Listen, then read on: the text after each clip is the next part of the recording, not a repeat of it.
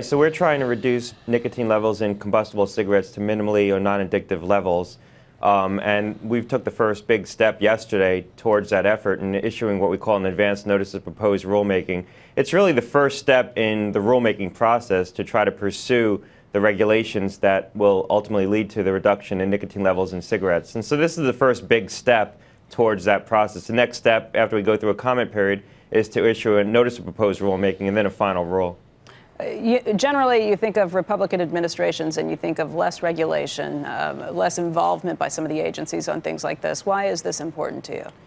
Well, we're looking to try to um, transition smokers to modified risk products, less harmful products. We see a lot of potential from new product innovation that's coming on the market, including electronic cigarettes and electronic nicotine delivery systems that might be um, modified risk ways to receive nicotine if you're an adult who still wants to get access to satisfying levels of nicotine.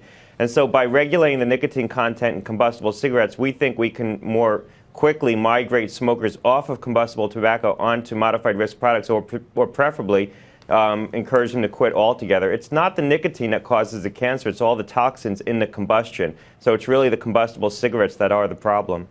I've seen ads that run on television a lot lately um, that are uh, saying things like this is from a group saying let's uh, make sure we do modify uh, nicotine levels.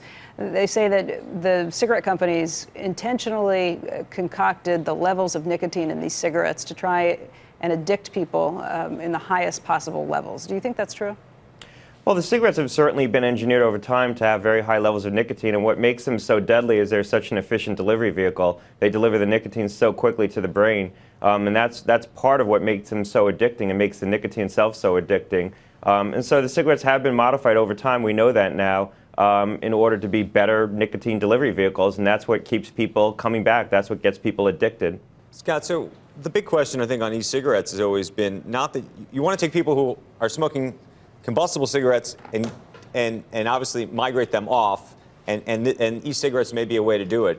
But the other question is, is it also a way to get people to start smoking? Maybe not combustible cigarettes. And, and uh, the question is long term, from a culture and society perspective, would we be frustrated and upset if a whole new generation uh, started smoking e-cigarettes all the time? Particularly with right, teens that, being so right. attracted to it. Right. The youth access is a, is a big concern. We're going to be taking some enforcement steps and other steps very soon to try to better address some of the youth use that we see. The youth use is growing. It's a, it's a major concern to the agency. And you're right. If all we end up doing is, is addicting a whole new generation on nicotine through e-cigarettes, then we will have done, done a bad service uh, to this country. So we're, we're going to be vigorously pursuing the youth use as we try to make this transition for the adult smokers. But it's a big concern um, right now. Uh, that kids are getting access to the e-cigarettes, and some of them are going to get addicted. Remember, our, our statute is a net public health benefit, so we're looking at the, the overall public health benefit to right. the entire population in looking at that, we overweight the youth use. And so if we can get 10 adult smokers to quit, but, but we, one new kid gets started on nicotine for every 10 adult smokers, we're going to overweight the assessment of that one kid who's going to become a smoker because of what we've done. Hey there, thanks for checking out CNBC on YouTube. Be sure to subscribe to stay up to date on all of the day's biggest stories. You can also click on any of the videos around me to watch the latest from CNBC. Thanks for watching.